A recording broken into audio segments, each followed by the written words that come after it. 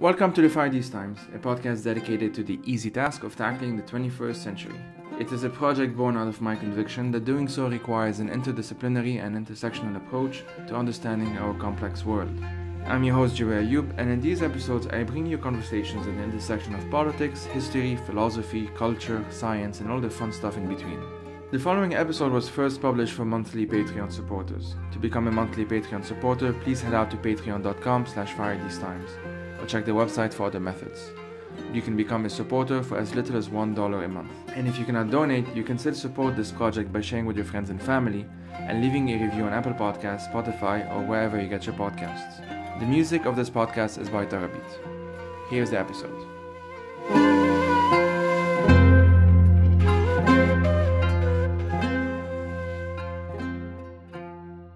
Ongoing global COVID 19 pandemic has, in my view, made the topic of a, of a basic income really urgent. And my guest today is really well placed to talk about this because he's been writing about it for several decades. In many ways, he was among the first to even propose it on the global stage. A basic income is as it sounds. On a monthly basis, the state provides a certain income, minimal income, to every citizen. But there are lots of discussions as to you know the technicalities of it how do we distribute the money uh, who gets access to it is it unconditional or conditional you know and so on and so forth and we do get into these conversations in this episode. But I think this conversation with Guy Standing is important for two main reasons, or three main reasons actually. One is that he proposes a new class system that's not just what we usually think of, you know, working class, middle class, upper class. He speaks about things like the precariat, the salariat, proficients, oligarchs, plutocracy, working class, lumpen underclass, and so on and so forth. I think these are very important because I personally see myself as very much in the precariat. This is a category, a class category, that defines my life pretty well. I thought I would be, when I was younger, I thought I would be what Guy Standing describes a salariat. As in, you have a salary, you know, it's more or less secure, you sort of know where it's going to lead in a few years. You might, you know, have some kind of deal where you put some percentage aside and it goes towards a pension and, you know, and so on and so forth. But our generation, the millennials, and especially, or including those that come after us, Gen Zers and so on, don't really have much of that. Instead, we're getting more and more lumped into what Guy Standing calls the precariat. And so we discussed the precariat quite a lot in this conversation. We even went into a more philosophical discussion, or some might say a, a, psychological conversation, about what he describes as the precariatized mind. That is the mental condition or the psychological condition that is that results from being in the precariat. Finally, we even got into his proposal towards a new politics of time. Because what the precariatized mind also does, it gives us a sense that we are always running out of time, right? Like uh, the examples I give, I get into some personal example in this conversation about how I've really had dozens and dozens of jobs and I'm not even 30 yet. I'm what you might call comfortably, uh, in academic terms, I've been going to like elite universities. I have very good connections. I'm, you know, as lucky as what can get while remaining in the precariat. And of course, most people don't even have the sort of access or the resources that I've had presented to me growing up. So this is a real problem. And I think that the global COVID-19 pandemic has really made that case for a basic income. So you will be hearing conversation between two people who essentially agree with one another. But this isn't really a matter of convincing you necessarily with that argument that there should be a basic income on a monthly basis. You may disagree with this for various reasons, you know that that's a conversation for another time. But I wanted to have guys Standing on specifically in order to talk about the precariatized mind, hence why it's in the title. I think if we get into that, and we make that case pretty well, I think, in this conversation, including the conclusions uh, regarding a new politics of time. I think this makes a better case for a basic income than any kind of quote unquote purely economical conversation. So that's it for me, folks. Thank you for listening and take care. It's very nice to be talking to you. Um, I'm Guy Standing. I'm an economist. Where I've got a PhD from University of Cambridge. I've been a professor at various universities, and for a long time I worked in the United Nations.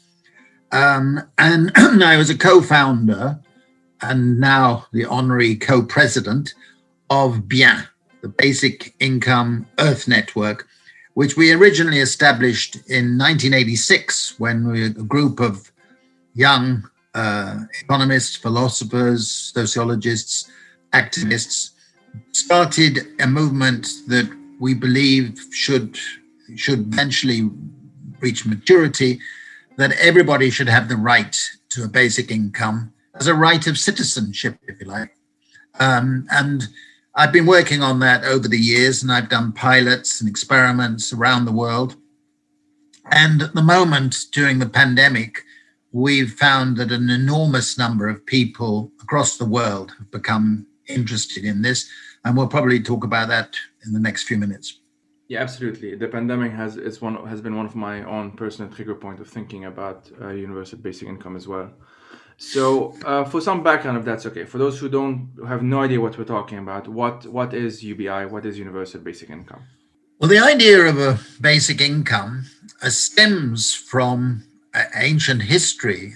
Uh, I've traced it in a book about basic income, looking at all the aspects of it to November the 6th, 1217, which was the day that the Magna Carta and the Charter of the Forest, as it's called, were both sealed in Westminster. And they've become the foundational documents uh, of all democracies, if you like. and the Charter of the Forest uh, asserted that everybody, every free man, had the right to subsistence, the right to work, the right to a home.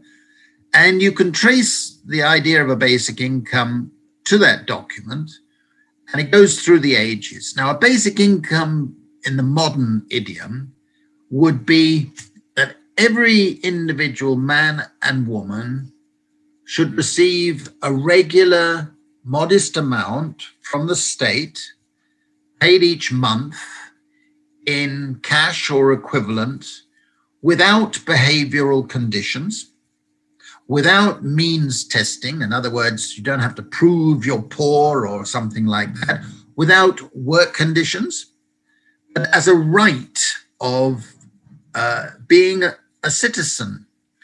And it stems from the idea that it's a matter of common justice, that every one of us belongs to the commons. We inherit the wealth that's been produced by many, many generations before us. And if you allow for private inheritance of private wealth, which all states do, then you should allow for the fact that we should all have a share, a dividend on the public wealth, the common wealth that's been generated by those many generations before us. And we don't know whose parents and grandparents and great grandparents contributed more or less to that public wealth.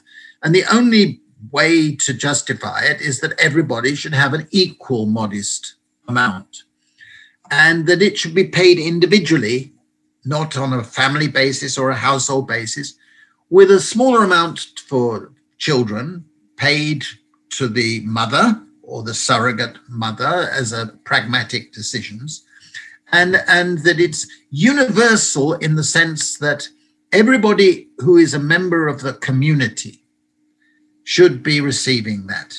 Now for pragmatic reasons i don't use the term universal because you would have to say that in a country whether it's the uk or lebanon or switzerland where we're talking now uh, you'd have to say that migrants would have to wait for a period before they became entitled to the basic income.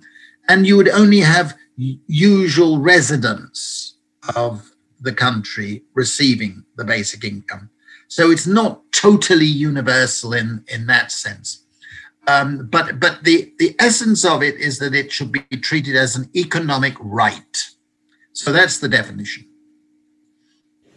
Thanks for that. You mentioned being co-president of the Basic Income Earth Network, or BIEN, uh, and it emphasizes on the website, from what I've read, as you mentioned now, that the payments are unconditional and mm-hmm. without means tests and without work requirements. So these are these are details, but a very important one. And can you can you um, Can you explain why these specific components are so important? Well, I think first of all, the unconditionality is is important because you're saying this is a right. The right to freedom it doesn't entail any conditionality except if you obey, obey the law. Uh, the right to fresh air, the right to live are universal rights, human rights. And a right, if it's uh, constrained by conditions that you have to behave in a certain way, is being paternalistic and is not consistent with being a right. That's that I think that any condition you can think of will have arbitrary elements and be unfair to some people. It's important not to think of it as targeted. If you have targeted means tested benefits, which many governments now operate as their welfare system, what you're saying is that only the poor should be receiving the benefits. Well, you immediately set up what we call poverty traps. Because, first of all, you've got to identify the poor. Then you've got to say, well, if they choose to be poor, should they receive anything? Then you have to have tests of whether they're deserving poor or undeserving poor. And then once you've given the targeted groups, and every system fails even in doing that, basically what it means is that if you try to become non poor, you lose those benefits. And therefore, it hardly pays you to get a low paying job, the type that many unemployed would be able to get.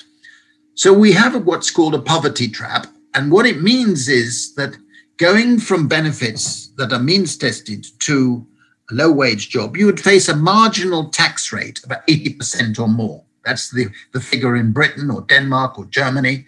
It's over 80%. In other words, they'd only they'd only get a, an increase of their income uh, 20% or less. So it has a huge disincentive means testing, but it's also arbitrary and unfair, and it never works very well. You have huge exclusion errors and so on. So that that I also think is is an unfairness of the existing systems. As far as work tests are concerned, I think this is merely a, a device to control people, and it is arbitrary.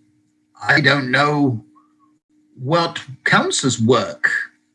The trouble is today that only chase, chasing wage jobs counts as work. But the care work we give to each other, the care that women have been giving to families and to men and, and to the elderly, mainly women, that counts as work. That is work. It's the most valuable work you can get and do. But that doesn't get counted in the work tests that governments impose. What they're saying is only if you're looking for a labor job, a wage job. To me, that's arbitrary. It's unfair. It's unfair. And, and, I don't think that's a matter of freedom either. So I don't believe in any conditionalities, behavioral or otherwise, other than obeying the law. That's a separate issue. And you shouldn't have the conditionalities which are paternalistic and almost always unfair to some groups rather than others. But of course, with the basic income system, you would have to have supplements, special, extra, for people with disabilities or with extra costs of living. Because the idea is that everybody should be given an equal basic security through the basic income. And obviously, people who have got disabilities have extra costs. People who are expecting children have extra costs. Frail elderly have extra costs. And therefore, the, the amount given to those people should be adjusted upwards. The basic income is to give people a sense of freedom, a sense of security, and an element of common justice. In your work, one of the things that really started to click with me is actually moving beyond the traditional understanding of what we would think of as the traditional class system working class, middle class, upper class. And you uh, have spoken a lot about the precariat, of course, and you've contrasted that precariat with the salariat above them who themselves are at, like the salariat are always at risk of becoming the precariat. uh, and above them both are the oligarchs and the plutocracy.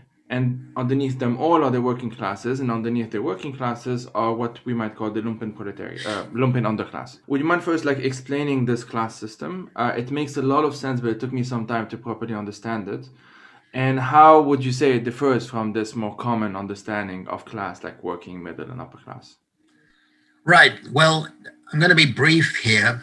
Um, basically, my whole thesis has been that in the latter part of the 20th century, the last century, was a period where we know there was an economics revolution we call neoliberal economics, which ushered in a period of pursuit of a free market economy. But it was always based on a series of lies. We have the most unfree market economy ever, ever conceived nowadays. And it produced what I've characterized as rentier capitalism, where more and more of the income is going to the owners of property, physical property, financial property, uh, intellectual property, and less and less are going, less and less is going to people who rely on labor wages and other benefits linked to jobs. And in the process, the old industrial class system has broken down irretrievably.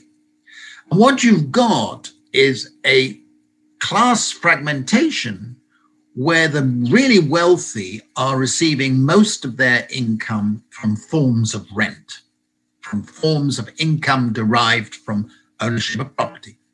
So you have a plutocracy at the top of multi-billionaires. We all know their names. We wished we didn't in many cases, who have done phenomenally well, and you know they they increased their wealth and their income during the pandemic eh, phenomenally. And these are the ultimate rentiers. Below them is an elite of multimillionaires, also making a lot of money from forms of rent. And below that is the group that you've mentioned, the salariat. Now, the salariat, when I was a student, we were in our labor economics courses, we expected by the end of the 20th century that the vast majority of people in wealthy countries would be in salaried employment with full time stable jobs, with career orientation, with the prospect of a pension, with paid holidays, paid medical leave, paid benefits, this and that. And they would have employment security. But of course, that has not been the case. It's been shrinking all over the world, the salariat. But it still exists. And a lot of the salariat, people from the salariat, would be coming to my talks around the, the world. I've given over 500 talks on, on the precariat in 40 countries. And they would often come and they would say at the end, Can I have a copy of your book? Because I want to give it to my son or my daughter because they're going to be in the precariat. They know they themselves they won't be going to the precariat. I'll come to the precariat in a moment.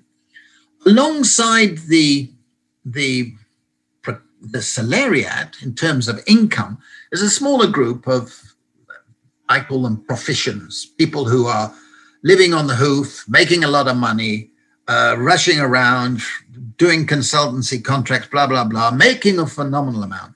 The trouble is their lifestyle means that they could go belly up and burn out at age 30 or something like that.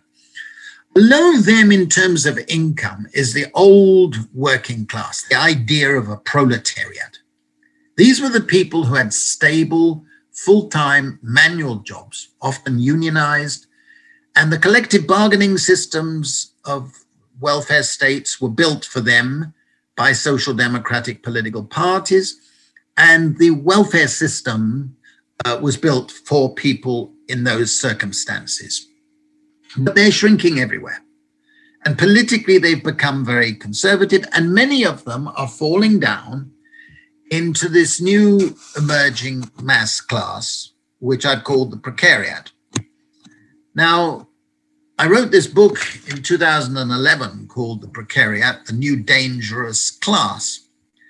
And it's been translated into 25 languages and sold phenomenal amount a number of copies, and every single day, without exception, I receive emails from various people around the world saying, This book is about me, and I'm part of the precariat. And the precariat has three dimensions. First of all, it has distinctive relations of production. What that means in plain English is they're subject to unstable, insecure labor relations. They have jobs which are below the level of their education. They don't have an occupational identity or narrative to give to their lives. They don't feel they're becoming something. They have to do a lot of work for labor, work that doesn't get remunerated or recognized in statistics and so on. And that first dimension is the dimension which many commentators have focused on in criticizing me or writing about what I'm saying. For me, actually, that's not the most important part of being in the precariat. It's, it's an important reality. But if you had other circumstances, you could live with unstable jobs. You know, many of the jobs that people have to do, you really wouldn't want objectively to be in them for, for many, many years. So that's part of it. The second dimension is they have distinctive relations of distribution. What that means in plain English is that they have to rely almost entirely on money wages. They don't get access to non-wage benefits of the type that the salariat get, and they don't get access to rentier incomes, whereas the salariat actually do have property. The precariat is not only do they not have property, but almost almost to uh, uh, definitionally, uh, they're living on the edge of unsustainable debt. One mistake, one illness, one accident, one bad decision, and they could be out in the street. They know that. And many people live permanently, chronically in a state of debt.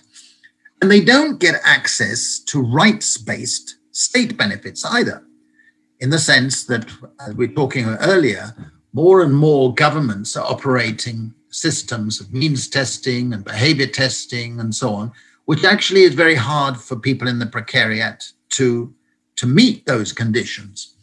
So they, this is the second dimension. It's the third dimension, which to me is the most important.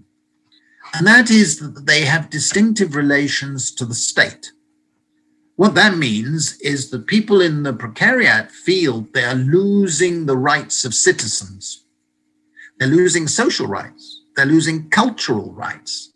They're losing economic rights and they're losing civil, that means justice rights, and political rights. They don't feel that the political parties or politicians are representing their interests and their aspirations as well as their insecurities.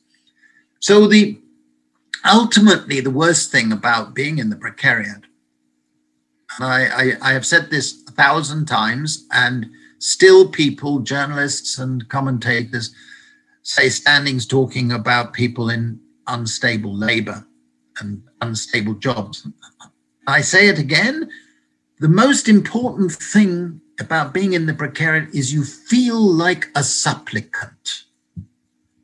The original Latin definition of precarious was to obtain by prayer. And that's how it feels for most people in the precariat. You feel you're dependent on people having discretionary judgments in your favor. You feel as if you have to depend on charity. You have to depend on favors and being obsequious and asking and dependent on the goodwill of others, which is very demeaning. And as David Hume taught us uh, in the 18th century, charity is akin to pity and pity is akin to contempt.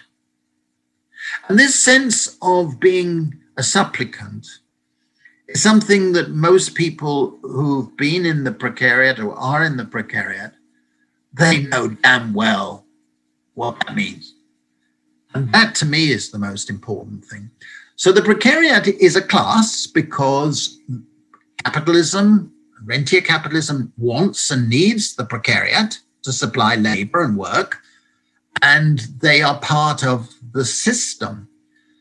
Underneath them is a lumpen category that you mentioned, who are outside of all sorts of classes. They don't have a, a, a direct role in the process, but is growing. A large millions of people there are in a lumpenized character, in a lumpenized situation, but it's not the same thing as being in the precariat. The precariat is, is a functional part of the economic system of rentier capitalism. And that I, I, I emphasize as an important aspect of it.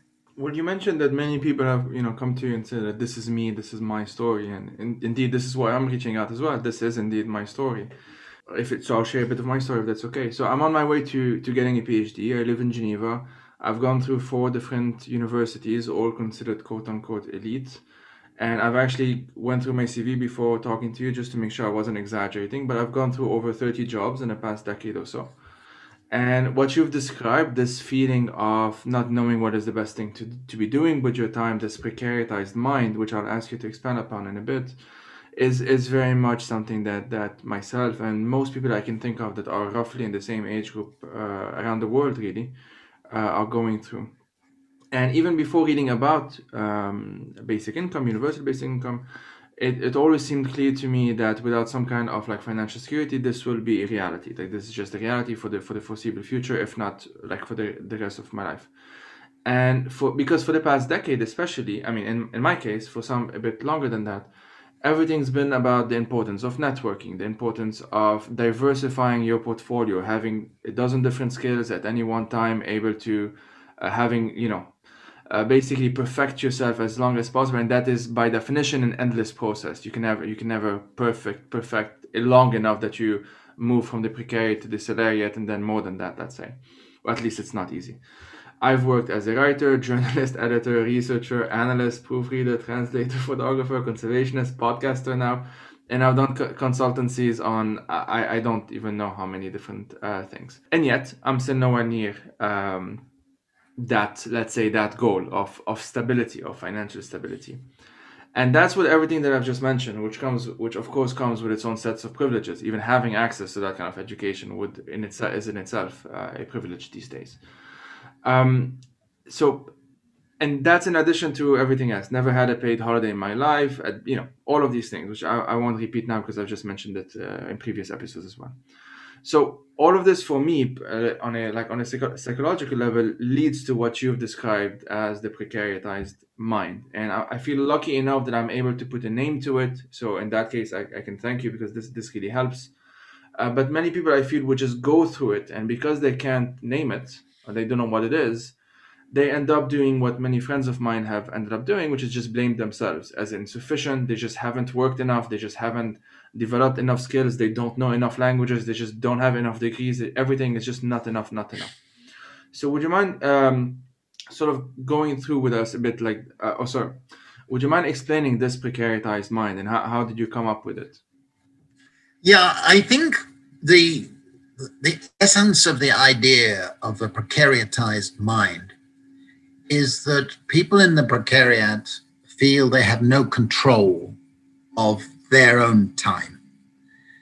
And they don't know what are the optimum uses of their time that could improve their situation, give them security, give them a future, or whatever.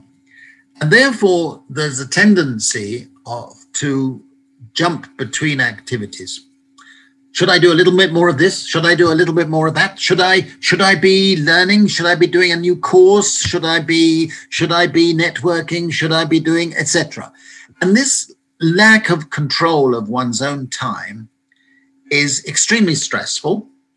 It produces medical problems, it produces mental problems, mental crises, and it, it produces a, a short termism in behavior and decision making and thinking. And I think that the, the essence of the precariatized mind is you're always looking for a suboptimum way. And it goes back to the idea of being a supplicant. You you feel should I be doing this because it might lead to that, or could I put myself in the good books of somebody or whatever? And this this is leading to a loss of a sense of direction and extremely suboptimal use of one's time. And it's in the context of what we're living now, which is an era of insecurity, chronic insecurity that's generated by the economic system I was talking about earlier, plus the ecological crisis, the threat of extinction, not just to species and nature, but to ourselves, as we're seeing with the pandemics that are taking place, which is a zone of uncertainty. I'm an economist, and there are different forms of insecurity. If you have the old industrial society. It may have been dull for many, many pe- people, but you could calculate the probabilities of becoming unemployed, becoming sick, becoming pregnant, becoming uh, having an accident, etc. And you could have social insurance or private insurance. But today we live in a time of chronic, radical uncertainty. And what that means for an economist is that you living with unknown unknowns. You don't know the probability of an adverse event hitting you, hitting your community, hitting the nation, hitting the world, etc. All you do know is that it's going to come. And it's in its, you know, this sense of unknown unknowns goes with a sense that the consequences of adverse events could be chronically serious, that you wouldn't be able to cope with them or recover from them. And it all goes together this uncertainty, loss of control of time, being in the precariat to create this mental dilemma, which the psychologists have taught us is, is very damaging psychologically and mentally. If you suffer from chronic insecurity and this precariatized mind phenomenon, your mental bandwidth shrinks. Your IQ actually diminishes. Maybe you could recover it later, but it diminishes while you're in those circumstances. And therefore, you make suboptimal decisions because you're not in full control of your mental capacities. And that's one reason, in my view, for having a basic income, because basically, how can we hold people responsible for their actions if the circumstances in which they're having to live are diminishing their capacity to be fully rational? Therefore, we should give people that security. And then they can get some sense of control and diminish the precariatized mind threat, which is an existential threat, just not only to individuals, but to family relations, to communities, and politically. We may come to that later. So for me, it's it's a very, very important behavioral part of the whole development of the precariat. And yeah, indeed, the, the political consequences is also something I've been looking at. And you you described three different types of precariat: the atavists, the nostalgics, uh, nostalgics, and the progressives. Uh, can you can you explain those? Well, I go back to the book of 2011, uh, precariat. On page one of that book, I said, unless the insecurities and aspirations of people in the precariat are addressed as a matter of urgency, we will see the emergence of a political monster.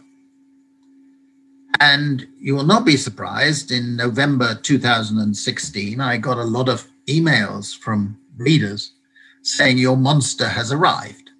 Of course, that was Donald Trump. And this is because I've depicted the precariat as consisting of three groups that you've just mentioned. The atavists consist mainly of people who don't have a lot of education, haven't been to four good universities as, as you have or I had, but have been drifting from a proletariat or even salariat type of existence down into the precariat. And they feel a sense of loss. Maybe their parents had a dignifying working class jobs in industry and so on, and they can't get that. And they get angry, and what they're wanting, and that's why I use the term atavism, looking backwards, they're wanting a return of the past. So their sense of relative deprivation is the lost, the loss of a past.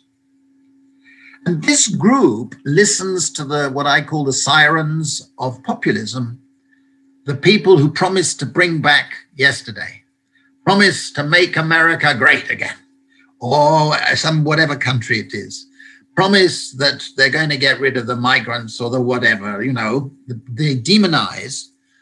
And this part of the precariat have neo-fascist uh, tendencies, which are nurtured by the political manipulation and so on, and the circumstances, and partly because there isn't a political narrative offering an alternative. So that part is a danger, a part of the dangerous class idea. The second group, which I've called the nostalgics, for them, they consist mainly of the migrants, minorities, uh, people with disabilities. They feel they've lost a present. They feel they've lost a now. And they've lost a sense of a home. And of course, we live in an age when hundreds of millions of people, in different ways, you and me included, are migrants. We live outside the zones where in which we were born or brought up, and many for good reasons, many for bad reasons, many refugees, and so on. And we don't feel we have a home anywhere. We are parvenu. We are passing through. And this, this nostalgic group is huge in the precariat. In the sense, they're victims because they're, they're seen by part of the precariat, the atavist part, as the cause of their problems, which they're not. And they are victims because they have to keep their heads down, otherwise, they get demonized and everything is blamed on migrants, a category of denigration. We all know where that leads racism and, and worse, if anything can be worse, but you know, a whole combination of, of negatives. Now, this part is not going to vote neo fascist, it's going to keep their head down. They've got to survive. But every now and then it gets to the point where the pressures on which they're having to live become explosive. They just become too great.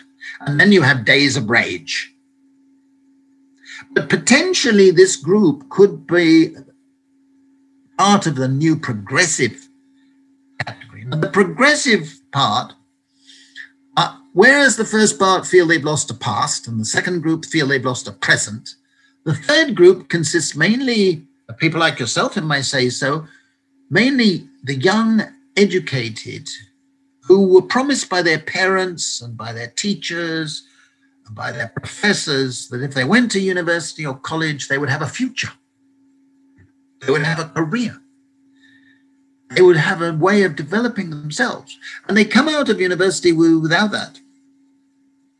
Yes, yes, but without a sense of future. They feel they are denied a future.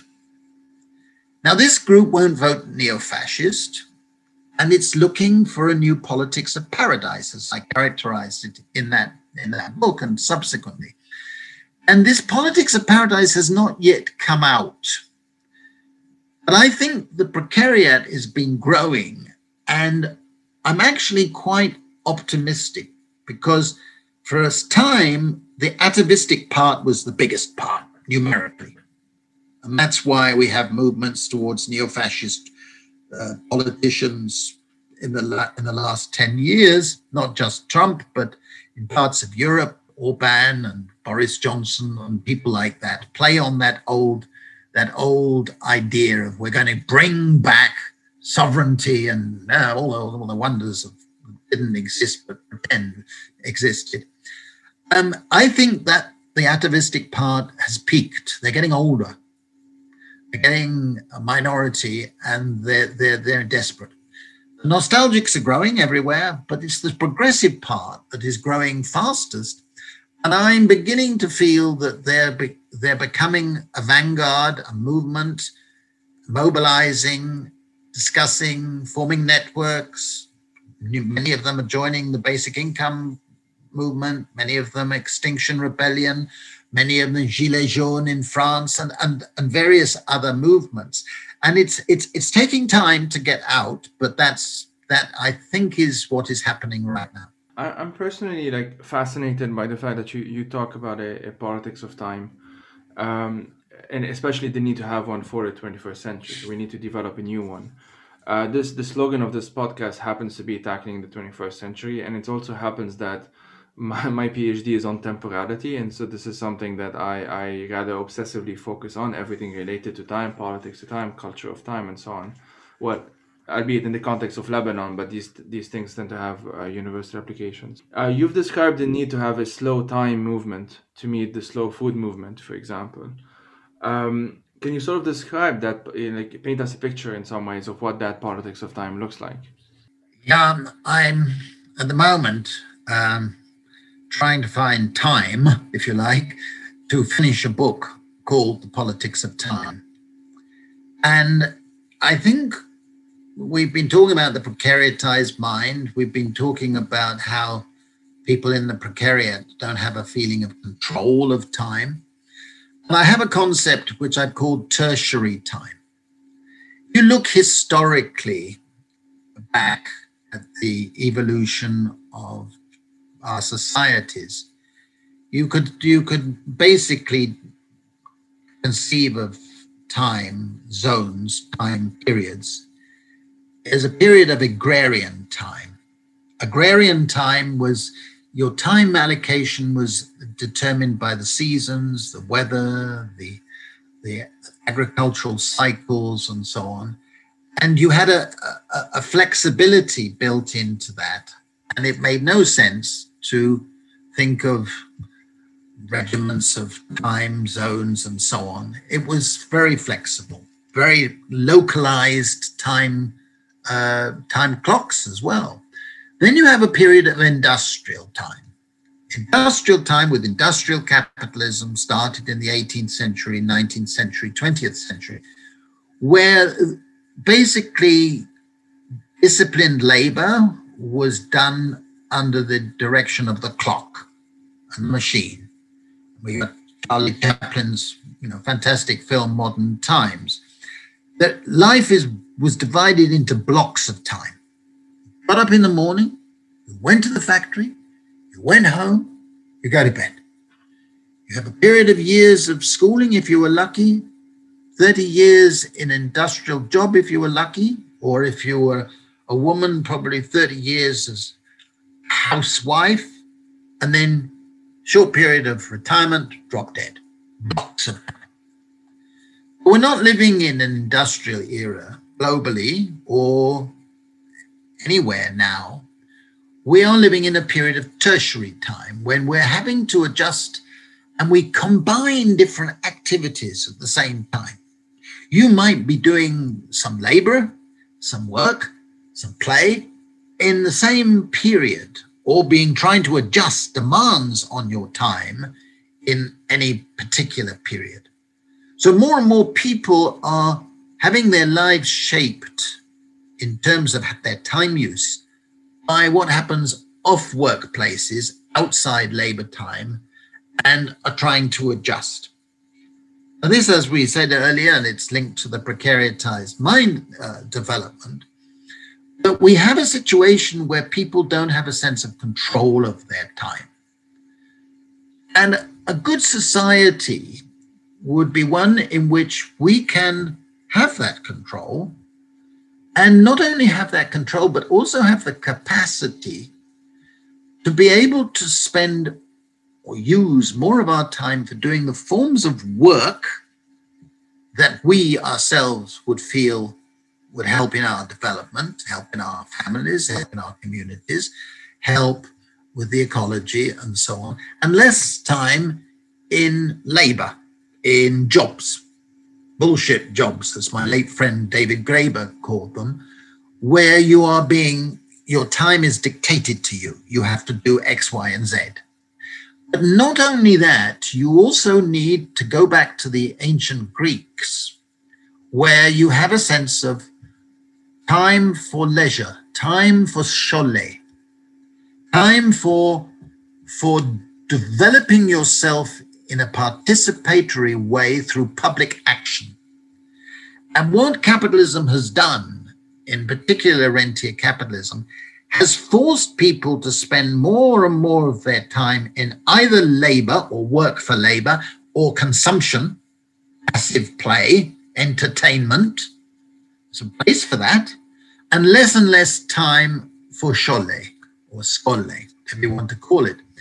And this is the the real challenge now, and I hope you're going to be addressing it in your PhD, and I hope that my book will help in that respect, is is to enable us to spend more time in, in real leisure, which involves work and development and leisure in the classic Greek sense of learning and participating in the life of the polis.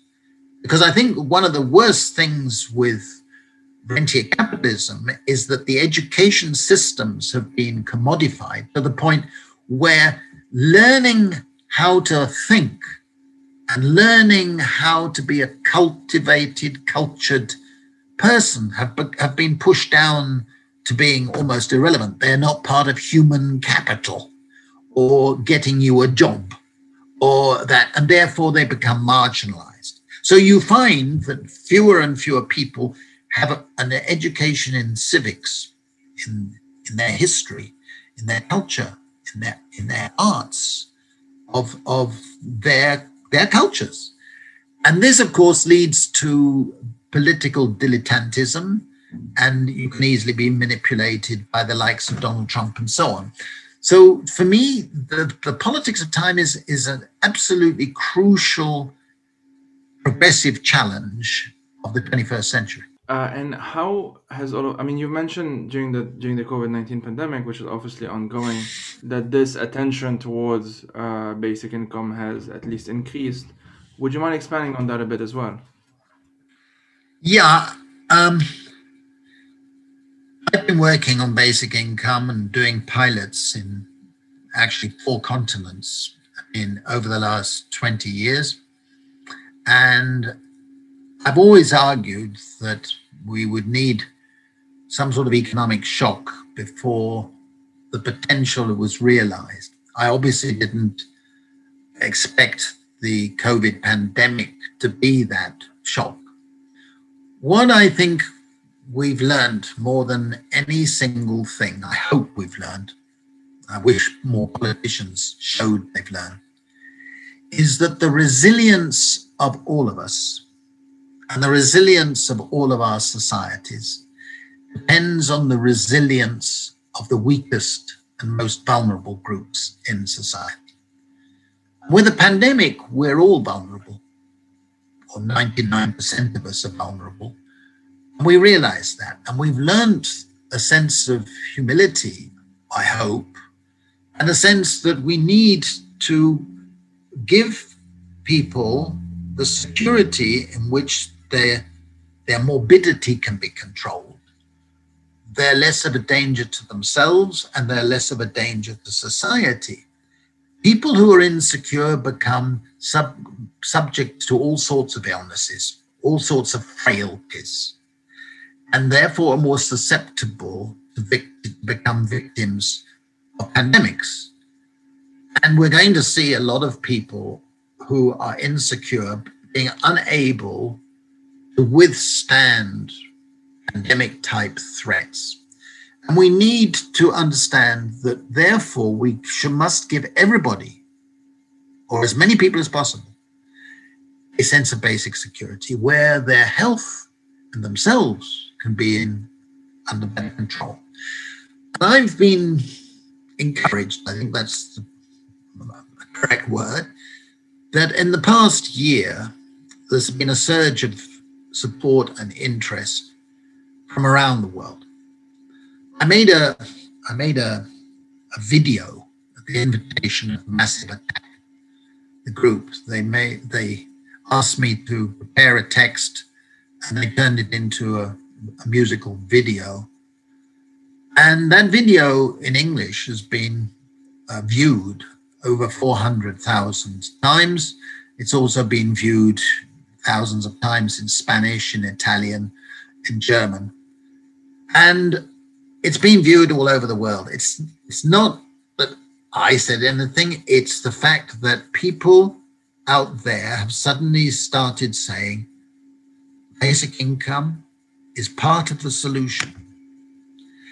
And I think that it is wonderful. I did an interview with BBC Radio this morning because uh, the 32nd uh, area of Britain, the council, has just voted that they want to do a basic income pilot in their area.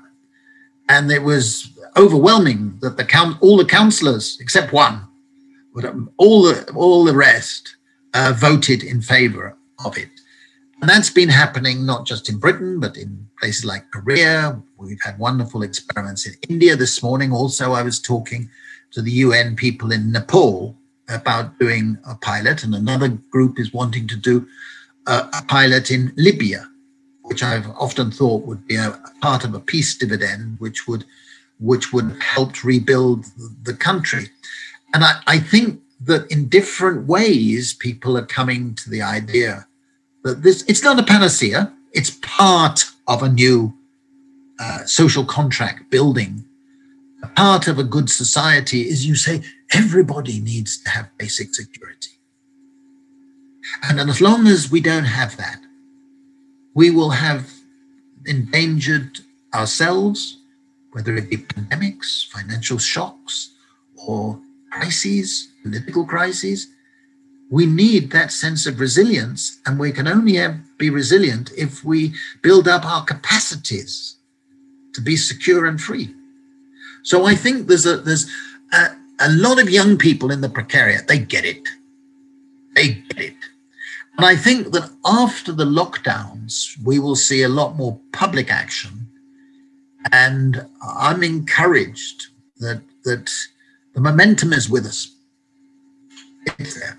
I definitely agree with that as well. I think there's just an increased awareness of just at least trying it out, if not uh, wholly embracing it immediately, because many people right. have their doubts.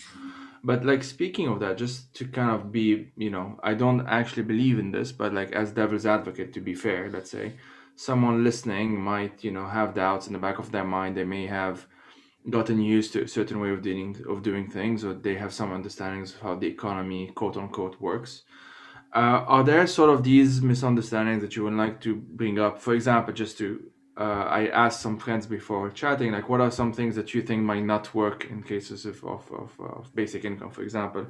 And some a friend of mine said, like, well, what about inflation? How would that work? And uh, would it be for everyone? Would it be for no one? Would there be risks with that? Would there be, you know, kind of as soon as you propose new solutions, I found, uh, or potential solutions, people immediately try and find the faults before even uh, right. putting it in place. But to be fair to those potential critiques, let's say, are there are there these misconceptions that you would like to to tackle or debunk? Well, look, I've been I've been advocating basic income and working on pilots and and writing about it, and we've been organizing conferences around the world for 30 years. And I've written a book called Basic Income and How We Can Make It Happen. And I've got a chapter on the objections and I list 17 objections that have been made uh, over the years. You just mentioned one inflation. Um, the most common is that it's unaffordable. Well, of course, it is affordable because we all have commitments to meeting the basic needs of our citizens. And if we don't devote our resources to giving people basic security, we've got a a problem of misallocation of resources. We can afford it, and whether it's in a rich country or in a low income country like India, mobilizing the, the necessary resources is, actually much, much easier than commonly uh, claimed. Second thing is that, that why give to the rich as well as to the poor? Well, it's much more efficient and equitable to give everybody a right and then say, okay, we're going to adjust the tax system so that the wealthy don't get more or uh, more than they had before, and you can adjust it. It's much more efficient than trying to find the needle in the haystack, the person who's really poor. The one you've just mentioned is one of the 17, but it actually is, is the opposite. The problem we have at the moment is that our income distribution is skewed so that a tiny minority have access to vast amounts of the income and they spend on rich consumer goods and imports, luxuries, and so on. If you provide ordinary people with a basic income, they spend on local goods and services predominantly. And that tends to generate uh, demand, which leads to more investment and more localized jobs. We did a pilot in um, India, and we had nine communities where everybody got a basic income. And Sonia Gandhi herself said beforehand, oh, they just spend it and it'll all lead to price rises. And we said, why? People want to improve their living standards and once they demand for food or for services increases, guess what happens? The supply of those goods and services increases. People become more inclined to grow more uh, crops because they know there's a market for those crops because people have money to spend. And what we found after a year and a half is that actually prices per unit had gone down so it was reduced inflation. But the incomes of the people producing the goods and services had gone up. So they were making more money, but the prices had actually gone down. And really, I make I, I claim that that this is one-handed economics to think that it's going to be inflation. Two reasons. One, you're going to be stimulating supply of extra goods and services for ordinary people. And and and two, it's not it's not unusual that incomes go up and spending patterns change, and there's not there's not inflation at all. The other the other common claim, the most common claim, is that if you give pays people a basic income, they would uh, become lazy, they would not work, and they would uh, uh, dissipate it on bads, on tobacco, alcohol, sex, or whatever it might be that people think is the bad thing. But actually, that's an insult to the human condition. We all, or 95%, 99% of us, want to improve our living conditions, improve the health and happiness of our families, our children, our parents, our communities.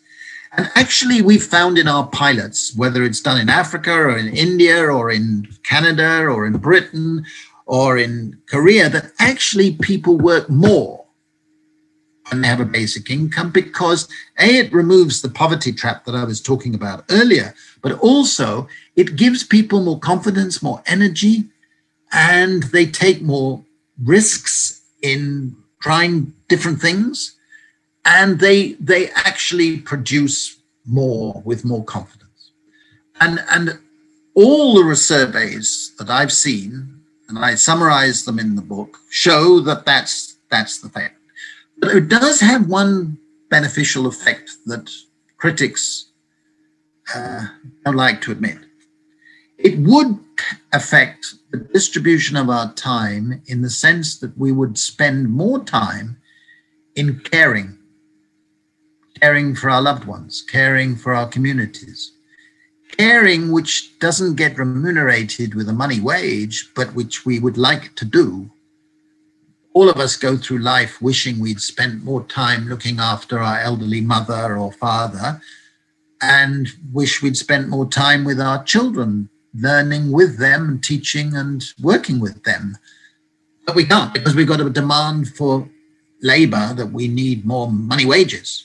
So I think a basic income would, and we found this, lead to people spending more time doing care work. And that's the second lesson of the pandemic. Most essential work is care. And at the mm. moment, we have care deficits. And a basic income could help lead us to do more ecological work, more care work, more environmental work, and less in resource depleting, ecologically destructive labor. And I think that's that's a wonderful prospect. I I think this is the strongest argument for it in many ways, and and uh, I often feel that those who are on the opposite side of this, who use things like people will be lazy, I think I think this is more of an ideological conviction at this point than anything that's based on fact and a very cynical view of human nature. It's also, I mean, if if they think that giving people a basic income uh, would make them lazy. Well, I hope they will stand up and stop being hypocritical and say that all inherited wealth should be taken away because inherited wealth gives people a basic income, a vast basic income, and therefore they would be made vastly lazy, and we wouldn't want that at all. So, in that case, take away inherited wealth. But they never do say that. And, and that, that shows the hypocrisy. But as I said, I believe basic security induces people to be more confident, more energized. And the evidence we've gathered and other people have gathered show that that's the reality. So, end of subject as far as I'm concerned.